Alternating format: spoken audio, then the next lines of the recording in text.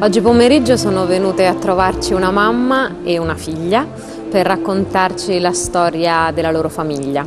Una storia che ci parla di dono, che ci parla d'amore e che ci parla della loro vita insieme. Buon pomeriggio ad Esther e buon pomeriggio a Letizia. Grazie Salve. di essere qui e benvenute. Allora, Proviamo a raccontarla dall'inizio questa storia, questa storia che è in qualche modo la storia della vostra famiglia e la storia di Letizia che oggi ha 23 anni, lavora come assistente delle maestre eh, nell'asilo che frequentava da piccola ed è una bravissima fotografa. Pensate che i suoi lavori sono già stati esposti in una mostra, però arriviamoci per gradi. Partiamo dal giorno della tua nascita Letizia, se sei mm. d'accordo. Glielo chiediamo eh, alla mamma. Tu Esther eri già mamma di, di due bambine sì. quando, quando, è arrivata Letizia. Sì, Martina aveva sei anni e Giovanna ne aveva tre. E durante la gravidanza non, non ho sospettato nulla, ma anche se avessi sospettato non sarebbe stato. E alla nascita non l'ho scoperto subito. Pensavo che non fosse una bimba bella. Dico, non è tanto bella questa bimba, no? Però non mi... Non, insomma, eh, non mi sono accorta di niente, fino a quando i medici non mi mandavano a casa, mm. non si decidevano a mandarmi via a casa e io premevo perché avevo le altre due che mi aspettavano, sei e tre anni, e, e volevo andarmene. E quindi all'ennesima richiesta, all'ennesima volta in cui ho richiesto ma perché non mi mandate a casa, una febbre, una scusa, un'altra, il, il, primario ha detto ma dobbiamo aspettare i risultati della mappa. Questa parola, in mezzo a tutte quelle che avevo sentito, era l'unica di cui non capivo, eh, era la più strana. Sì. Poi ho visto arrivare mio marito con eh, gli occhi di pianto, dico mai che non so quanto tempo sia passato dal momento in cui il medico mi ha detto questa parola e il momento in cui è arrivato mio marito, veramente non so quanto tempo sia passato però l'ho visto con gli occhi rossi e ho capito subito. Allora ho detto, è una bimba down. E lui mi ha detto sì. Siccome lui piangeva, allora io dovevo fare la forte. Sì. Se fosse successo il contrario avrei pianto. E è bastato questo sguardo fra noi due per dirci, e nostra figlia si tiene, basta. Non, non c'è nessuna cosa da dire, non c'è nient'altro da dire. Credo che venga spontaneo in quel momento aggrapparsi ai legami forti, a quello con il marito, ma anche a quello con gli amici, con le persone che possono condividere un percorso da iniziare insieme. Sì, e venne a trovarmi questa amica e, ehm, che in quel momento era la rettrice di una scuola, di una scuola paritaria, quella dove lavora Letizia. E, ehm, mi venne a trovare io guardando lei, che era stata per me una persona significativa sempre, da sempre, e guardando lei ho come riversato su di lei, ho come eh, fatto una sintesi di, di, tutte le domande che mi passavano per la testa, mm -hmm. chiedendole ma quando io non ci sarò più Letizia dove andrà? Che è per una mamma penso la domanda ultima. Certo e, e, lei mi ha risposto con questa risposta illuminante che ha, è stato il primo palo a cui mi sono aggrappata perché la mia vita è fatta di, di pali a cui mi sono aggrappata e questo palo è, è fermo ancora nel mio cuore perché dice, mi ha detto, ancora mi commuovo un po', eh, però mi ha detto eh, non pensare a queste cose, butta via questi pensieri e, e vivi il presente, vivi l'istante che era di più che fare una cosa alla, volta, fare una cosa alla volta è, è riduttivo. Vivere l'istante significa dare un significato a, quello, a che, quello che fai, una cosa, una, una e una. Allora io ho capito, ho capito all'istante che dovevo raccogliere la carrozzina, coprirla se era freddo, aprire la portiera della macchina, ogni gesto che facevo col suo significato ed è stata un'apertura totale. E tra l'altro alcuni gesti erano nuovi, perché comunque sì. bisognava iniziare anche un percorso nuovo. Eh sì. Un percorso in cui in qualche modo vanno educati più i genitori che i figli. Sicuramente sì, sicuramente sì, e questa è stata l'altra grande, l'altra grande novità. Se, se, al posto mio ci fosse un medico forse lo spiegherebbe meglio, io lo spiego come mamma. E quando nasce un, un bimbo come Letizia si tende a fare i paragoni o con le sorelle uh -huh. o mhm. con gli amici, gli amichetti, quelli, no? i paragoni. E invece la dottoressa che ho incontrato, che ho seguito per un paio d'anni, abbiamo seguito io e mio marito, ci ha proprio insegnato che è una persona e quello che quella persona in quel momento mi può dare non è, cioè altri in altri momenti non me lo possono dare, me lo può dare solo lei. Allora guardarla così per quello che mi può dare che, e mi darà, è sicuro che mi darà, è stata un altro palo a cui mi sono aggrappata, tant'è vero che faccio un esempio. Sì. Allora, lei sa fare, sapeva fare da piccola le bolle di sapone quando lavava i denti, faceva, si lavava i denti e poi le venivano spontaneamente queste bolle di sapone. Noi ci provavamo e non ci non venivano. Era una cosa che sapeva fare solo lei. Quindi è vero che è così. Allora se tu guardi tua figlia così, è una, una storia infinita, non finisce più, fino alle foto. Adesso ci arriviamo mm. eh, alle foto. Letizia va normalmente a scuola, fa, ha tanti amici e diventa anche un po' un punto di riferimento per i suoi amici, qualcuno cui, da cui imparare sì. e attorno alla quale fare gruppo, aggregarsi. Posso dirle questo? Sì. Ecco, un'altra cosa che ho capito da un altro incontro è quello con Don Giussani e ehm, ho capito che io l'equazione non la posso fare. Io come mamma di una bimba down, di una ragazza down, non posso mai fare l'equazione. Siccome è down, allora tu nonna, tu mamma, tu zia, tu maestra, professoressa, televisione, mm -hmm. mi devi dare questo, mi devi dare questo spazio, mi devi dare... Questo è, è un'equazione che ti taglia le gambe. E Don Giussani, quando lo incontrai la prima volta, dico questo che l'ho capito da quello che mi ha detto perché mi disse, le testuali parole furono, io sono arrivato e ho detto ho una bimba down di sei mesi.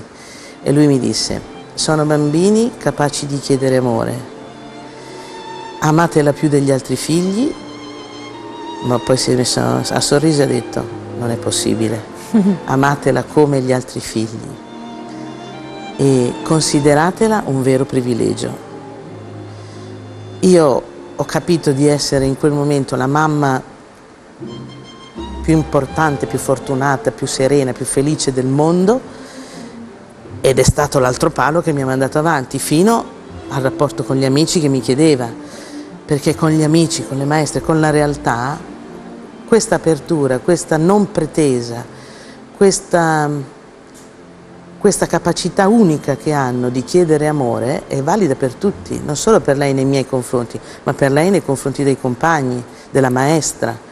Sono ragazzi capaci di chiedere amore ed è un dono infinito, enorme. Questo, bellissimo, enorme. A scuola però poi Letizia ci è tornata, ci è tornata a lavorare, vero? Sì. Che lavoro fai? Io faccio la messa bambini, due anni in nido. Mm -hmm aiuto le maestre, sono 60 maestre e aiuto, farisco mani, mi passo giochi, farisco... Ma ti piacciono i bambini? Sì, molto. Senti un po', ma la tua classe com'è? Cioè, sono buoni questi bambini o un po'... Cioè, sono buoni, però... Mm. un po' arrabbiare. Eh, ogni tanto ti fanno arrabbiare? Sì. Eh beh, è normale. Ma ce n'è qualcuno che un più, fa un po' più di capricci degli altri? Cioè sì. Mm. Sì, ci sono, ci sono. Che ti fa un po' più arrabbiare degli storto, altri. Si siede male. Si siedono male? Eh, stanno a seggiolone. Ah, stanno ah, su seggiolone. Sono su seggiolone magari un po' scomposti. Mm. Sì. Ho capito. Ma com'è andata questa, questo percorso che l'ha portata poi a lavorare a scuola? Ma finite le medie, eh, le uniche scuole che ci proponevano erano la scuola d'arte e la scuola alberghiero di Pesaro, che sono due scuole eh, buonissime per carità, però io non le vedevo adatte a Letizia, un po' perché mi spaventava francamente l'idea di vedere questi ventenni, diciannovenni insieme ad una ragazzina che entrava per la prima volta, chissà con quale insegnante di sostegno, mhm. chissà, chissà, chissà, e ho pensato, lei è in grado di fare tante cose, perché a casa ne fa tante, se è possibile cerchiamo un lavoro, se non lo trovo sceglierò l'una o l'altra scuola. Ecco, mi sono data questa possibilità in più perché anche parcheggiarli 5 anni di superiori, nel mio caso mh, non l'ho trovato utile. La scelta giusta. Ecco, la scelta giusta non mi sembrava. Però se fossi stata costretta avrei seguito anche quella, mi sarei data da fare. E però ho cominciato a cercare, a cercare, a cercare finché eh, non volevo approfittare né della scuola paritaria lei, che lei aveva frequentato, perché non era giusto, no? Ecco, quell'equazione non è giusta. Certo. Siccome è venuta qui, allora me la... no. Allora deve lavorare ecco, qui. Ecco, deve lavorare uh mhm. -huh. qui. Non è un'equazione giusta e non, non, porta a niente. Allora ho cominciato a cercare, a, a, guardarmi in giro, altre cooperative, altre cose, finché appunto la, la responsabile della scuola mi ha chiamato dicendomi se vuoi ti possiamo aiutare, però i costi effettivamente una scuola come la nostra non li può sostenere. No? Sì. E in questo anche il Comune ci ha dato una mano perché esistono queste borse lavoro, dopo due anni di tirocinio danno la borsa lavoro e quindi la borsa lavoro erogata dal Comune a Letizia e Letizia fa le sue ore di lavoro a scuola. Arriviamo anche alla tua passione Letizia, che cos'è la cosa che ti piace di più fare? E foto. Mm, foto. E perché piace molto, perché sono bellissimi posti, perché... Come è iniziato forse? Ma tu no, come hai iniziato beh. a fare le foto? Ho insegnato a mie sorelle. Mm. Quanti anni avevi? Avevo dieci anni. Ma poi è vero che hai chiesto a papà di comprarti una macchinetta fotografica sì. di quelle professionali Quelli serie? grossi, sì. Canon. Canon. Canon. Sì. Che fa delle foto? Insegnato a mio bambo lui. E cos'è la cosa che ti piace fotografare di più? Oggetti, o, oggetti, o viaggi, o anche persone. persone, matrimoni.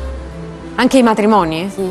sì. Ma ai matrimoni è più bello fotografare la sposa o lo sposo? Eh, due due. Tutte e due, insieme? Insieme. Ci sono amici nostri che hanno chiesto servizio fotografico. Sì, sì. sì, sì. Sono venute bene le foto? Sì, sì. certo. Senti, ma la foto che hai fatto che ti piace di più di tutte, qual è? Una Creta. Le foto che hai fatto a Creta? Sì. Ma è vero che le sue foto sono state anche esposte da poco, vero? Sì. C'è stata una mostra? C'è stata una mostra, anche questo è un avvenimento perché non l'abbiamo previsto. Non... Un amico nostro, osservando una foto che lei aveva fatto a lui e a sua moglie, se la guardava sta foto e diceva io non ho una foto più bella di questa. Mm. E e quindi piano piano ci ha proposto e ha detto ma perché non facciamo una mostra a Pesaro? Ci siamo dati da fare tutti insieme e è venuta fuori questa cosa stupenda, bellissima, a cui hanno partecipato tante persone, si vede una foto dove lei firma il catalogo,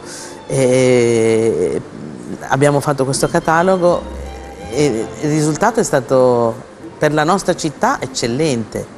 Certo, ma è vero Letizia che hai firmato tanti cataloghi che sì. alla fine non ce la facevi più?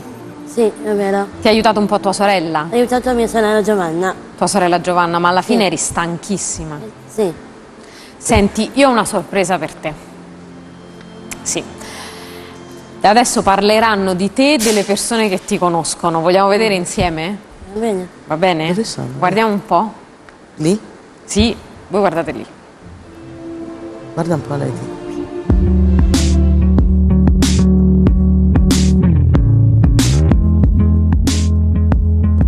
Letizia per me è ehm, uno dei punti più misteriosi della mia vita perché eh, la sua presenza è sempre stata eh, per me in modo molto provocante eh, la, eh, l'intuizione che niente può essere perso a partire da, da, quello che nessuno si aspettava, cioè la sua nascita e, e la sua presenza in mezzo a noi. Lei mi insegna la semplicità e la sincerità. Trovo bello stare assieme a lei perché è super semplice e tante volte noi ci facciamo problemi casuali e poi la guardi negli occhi che ti fa un sorriso così e ti ricorda un po' le giuste priorità. E nella sua semplicità mi ha insegnato che nella vita ci vogliono delle, delle ragioni adeguate per fare qualsiasi cosa e che bisogna basare la propria vita su delle certezze perché non so se avete mai avuto a che fare con Letizia ma se non gli dai una ragione adeguata per fare qualsiasi cosa non la smuovi. Una persona molto viva e io ho bisogno di persone così nella mia vita che mi facciano stare con i piedi per terra anche per la sua semplicità e mi, mi spalanca il cuore tutte le volte che sto con lei. Stando con lei eh, si impara a essere semplice. Aletia è un'ondata di freschezza sulle cose.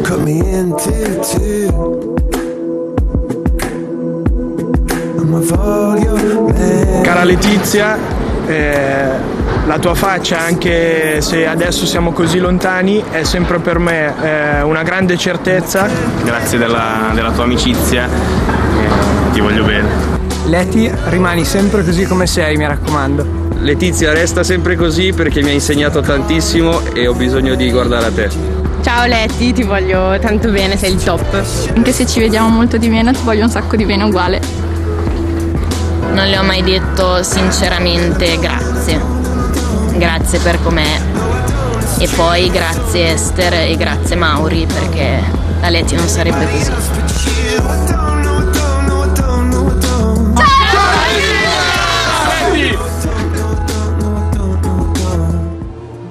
Siamo un po' commossi qui. Bellissimo, molto. Ti è piaciuto Letizia? Molto. Sono i tuoi amici? Sì, sono amici miei, sono con tutti i compagni Zino. Dell'asilo. Tutti i compagni dell'asilo? Hai visto quante cose belle hanno detto? Ti hanno detto Sì, sì. grazie perché le hai insegnato loro tantissime cose. Sì, Che cosa insegna Letizia? Letizia è un dono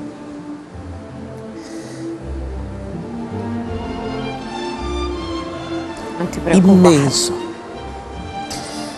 ma in termini di, di felicità mia personale, di equilibrio mio personale, di, di pace mia.